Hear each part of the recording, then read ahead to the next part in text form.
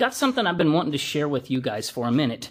This is a Deutsch connector. It's an electrical connector, and it's actually made by a company called JR Ready out of China. Uh, Deutsch, I believe, is an actual brand of German-made connector, and JR Ready is kind of a knockoff of that, a very affordable knockoff, and frankly, a pretty high-quality knockoff. These are the little style of connectors that I'm using in building my car. And just about everywhere you look on my car, you are going to find these little connectors. If you have a look at, uh, there's one right there that operates the, uh, the electric door locks. There's a Deutsch connector. If you come around to the back end of my car, I've got a uh, an electric trunk popper right here. My electric uh, locks are from uh, Classic Keyless.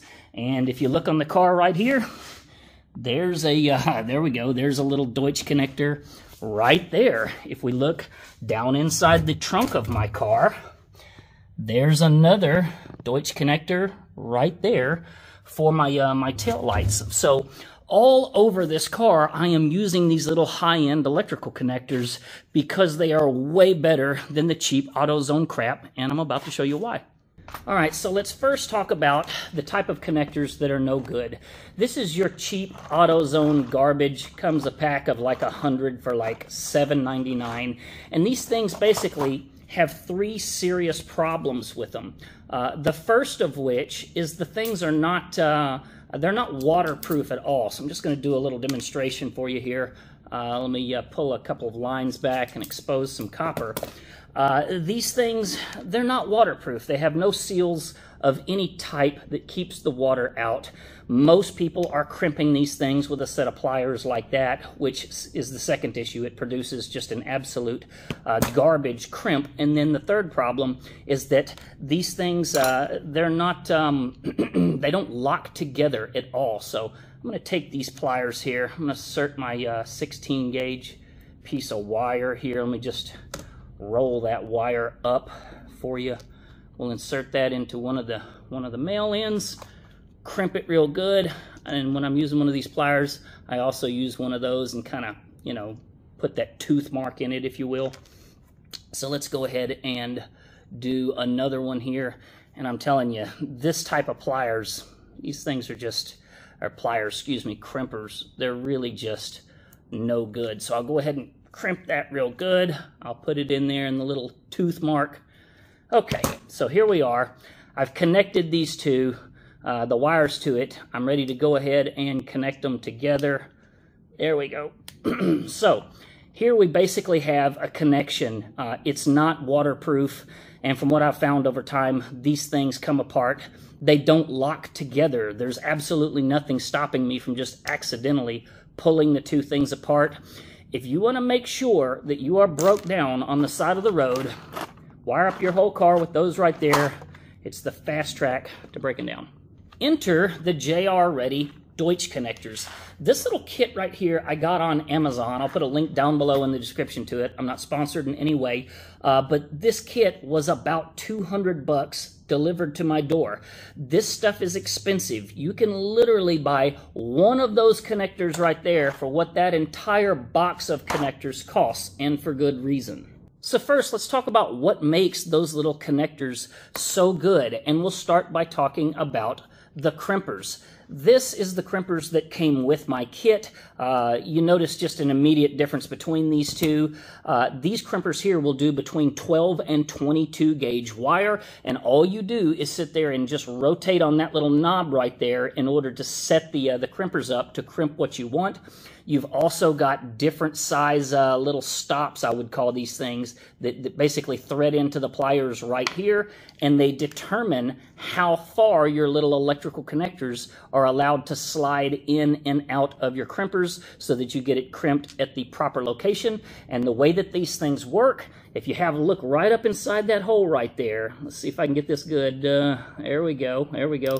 And see those teeth that basically come in. Look at that. You can kind of see the teeth right there. You have four individual teeth. There we go. You see it pretty good right there. That come in and squeeze that little barrel connector onto the wire. This is where your excellent crimp comes from. Okay, so let's go ahead and do a little demonstration here and assemble one of these uh, JR Ready Deutsch connectors here. Uh, so I've got myself some 16 gauge wire. I did go ahead and spin it to keep it nice and tight. I'm then going to take my little uh, female connector terminal right there. I'm going to slide that over it. And you'll notice that I've purposefully been pretty careful about the amount of insulation that I've pulled back so that you can see that there's really there's not any exposed wire right there. It just goes straight from insulation to the terminal. And then at that point, I'm going to take this, which I've already set the little dial right there to 16 gauge. I'm going to slide this into here, just like that right there. Okay, you see like that? And then I start squeezing it. Squeeze it pretty good. Okay. And then, let's see if you can get that on camera right there maybe it's got four little indentions on there to hold that little female terminal onto the end of that wire. So now I've got my little male terminal right there. I'm going to do the exact same thing. Going to slide it over the end of the wire. Okay. I will insert it, the, the uh, little electrical connector and everything right into the back side right there. Squeeze it pretty good. And there we have a male and a female terminal installed on the end of 16 gauge wire with a little four-sided crimp. So once I've got my little electrical uh, terminal right there on the end of my wire and I'm ready to insert it into the housing, first thing you want to do is make sure that you're using the correct housing. You don't want to use the male terminal with the female housing and so forth. That is your female housing. That is your female terminal all you're going to do is slide that right up into, can you see that right there? The little, uh, the little silicone block right into the back of it, and then you'll hear it kind of click in. Right there, I heard the click. I don't know if you could hear that, but you've got this little uh, little silicone block right there that seals off the wires so that as that wire comes into that terminal, everything is nice and watertight. I'm not going to put the second wire in because it's really just not necessary for this demonstration. So once you've got that and your female terminal is right up in there like that, you're going to take your wedge. Your wedge looks like that right there. Can you see that? You slide it right into the end of it just like that. You know, and kind of work it and wiggle it around a little bit until it goes in there and snaps into place. Here we have our male housing right there. Again, the same kind of deal. You just insert it right in there. I recommend making sure when you insert this stuff into these connectors, hold it from, you know, from up close right here. Don't hold it from way back here. You can just completely jackknife that wire to the side and do damage to it. So I find I have my best success when I push it in up close to the terminal. You'll hear it kind of go in and lock in. So can you see up inside of there? There's our uh, little male terminal in there. And then at that point, you're going to take that little wedge right there and you're going to insert it right down inside of there. I recommend using like, uh, you know, some small needle nose pliers for that. All right, I got my needle nose pliers with my little green wedge, and basically what you're going to do is you're going to insert that right up in there so that it goes and locks in place. I don't think I'm ever going to be able to successfully show you up inside of there, so only put it in there, and then I'll show you the finished product. All right, here, I turned my flashlight on for you. I'm blinding myself. You can see that little green wedge right up inside there. It basically holds those little terminals firmly in place. So there's the two halves of my JR Ready Deutsch connector. You basically connect these things together and you'll kind of hear them. You'll feel them real nice and tight as you push them together because you've got that that uh, silicone seal right there that makes everything watertight. And then as I push it together, you'll hear it click and lock into place. So at that point, I've got a watertight, nice connection that should be very strong. Here in a few minutes, I'm going to try this and just try and pull these apart with some weights on it and see exactly, you know, how strong it really is. Haven't tried that before, so frankly, I don't really even know. One of the things that I want to show you that's really cool is you can buy these little metal tabs here, these little mounts, and you just, you know, put a bolt, a screw, whatever, in whatever you want to hold that in place. And you can see it's got these little, uh, you know, little tabs bent into it right there and you take your uh, your connector right there you slide it in and again you'll hear it click There we go. And now you can mount that thing to whatever you want and it holds your connector in place so it's not sitting there vibrating around and ultimately doing damage to the wire and to the connection.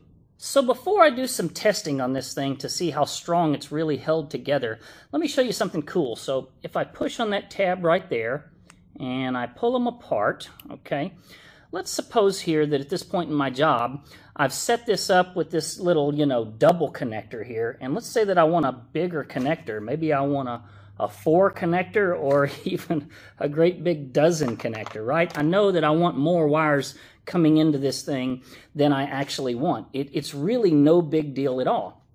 Uh, JR Ready gives you this little tool right here that comes with their kit. It's like a, you know, a flathead screwdriver on that end and then has this little, you can kind of see it right there, little hook deal on the other. And these things are really easy to take apart. So like if you wanted to, all you've got to do is just sit here and sit here and use that to kind of pop that wedge up out of there. And then if I wanted to remove that connector, it's going to be really hard for you to see inside, you know, that dark space right there. But take my word for it, when you're looking with your naked eye, you can easily see a little tab in there that you just kind of push down on with the end of that little screwdriver bit right there and then you pull the wire right out of the thing. It's common that the uh, the little seal, the little silicone seal right there comes off on the wire, which time no big deal.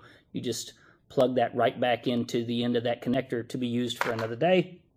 And then at that point, uh, you're taking that same wire and just inserting it into a different connector, in this case, a 4. And of course, it slides right in. There she is right there. You'd put your wedge in there just the same. It's a different wedge, but you put the wedge in there and you can sit here and very easily switch out from whatever connector you want, two, three, four, singles, whatever, very quickly and easily. That's cool. One of the things that I'm excited to do on my Redline Nova is, for instance, you know, you've got all of these wires that come through the firewall uh, up inside the fenders, wires for the blinkers, the fans, the headlights, all of this stuff. Um, and I want the ability to be able to unhook all of that stuff quickly and easily and have those wires go through the firewall, you know, where there's no chance of, of anything getting damaged, you know, trying to do grommets and all of that. So this is an actual real Deutsch brand connector and it's a bulkhead mount connector. So you just put a hole right there in the firewall. That thing mounts right up into the firewall and then I'm just going to have this dozen plug with a dozen wires coming up to it that connects right there to it really, really quickly and easily. So I'll be able to just, you know, hook and unhook a lot of wires very professionally, very quickly look around online. There's a lot of really neat stuff that solves some interesting problems, uh, some problems with some interesting solutions. Before we go test our little double connector to see how strong it is, I want to show you something else that's kind of neat. You can get these things in different sizes. Notice how both of these are double plugs, but one is much larger than the other. That's for much bigger wire, that's for smaller wire, so they do come in different sizes. There's one other thing that's pretty neat. Suppose for a minute that, you know, you, you need a five plug connector, um, you know, or maybe a six is all you got handy or whatever. But at the end of the day, you don't need to use all of the little terminals in your plug, but you still want it to be watertight. This kit did come with these little plastic plugs that insert right into the end of this thing. There we go. Goes in just like that and make sure that it's watertight. All right, you guys know what a jack stand weighs. Got my little Deutsch connector right here clamped to a jack stand. Let's see if I can pick it up with that. Not bad. Let's get something heavier. Okay, I found a much, much larger jack stand. Let's see if I can pick this thing up with it here. Wow, it's pretty impressive. All right, let's see uh, exactly how much tension we put on this thing trying to pull it apart there. Get it on my little scale. Looks like a uh, big jack stand. It's about 15 pounds. After mistreating our little connector here with 15 pounds worth of tension, I'm to go ahead and check it for continuity. If everything is still connected inside the connector here, that one will go to zero. And there we have it. I feel like I should add a little disclaimer to this video and say that I am not a professional automotive electrician. I'm just sharing what I've learned here in my home shop. So if you are a professional automotive electrician and there's something that I said in this video that you want to correct down below in the comments, by all means, please share the information with us. But just so you know, you don't have to be a dick about it. So that's my two cents on this. I don't recommend using these things right here because the crimp is just not reliable. I've seen that over time because I've used them for years and years. Uh, they're easy to pull apart and they're not watertight, so water will get in there and destroy your electrical connection. In my opinion, these things are just for when you're broke down on the side of the road, you're across the street from Walmart, you need to connect some wires, you're just trying to get home. Really appreciate all of my subscribers to this channel. If you found this content helpful and you want to make sure you see more, be sure to click subscribe down below. Please also click that thumbs up down below so that YouTube knows I'm not uploading just junk content. If you got questions, you want to add something to this, by all means, uh, put it down below in the comments. I very commonly answer those things. If you know something that I don't know, I'm absolutely glad to hear it. I hope you guys enjoyed this and learned something. Y'all have a great afternoon. Be good.